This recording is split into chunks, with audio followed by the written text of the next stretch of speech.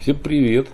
Продолжаем рассматривать работы художников, скульпторов Антонио Полайола, Геркулес и Гидра. 1460 год, дерево темпера, 17 на 12.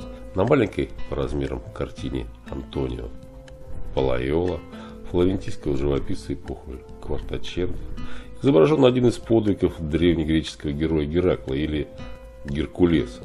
Вторая дощечка с композицией на тему этого мифа тоже находится в музее.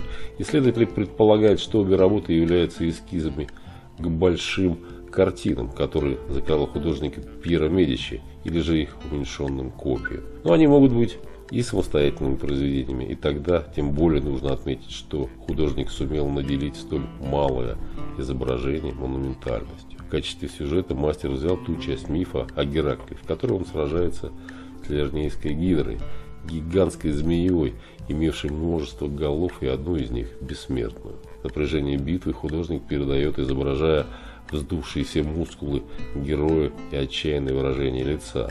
Работа полна движения, сила и мощь Геракла подчеркнуты расположенным далеко внизу пейзажем и тем, что главный персонаж помещен на фоне неба.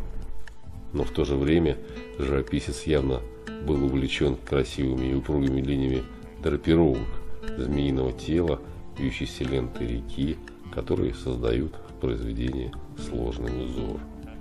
Вот такое описание к работе Геркулеса Гидра Антонио Палайола я нашел в интернете.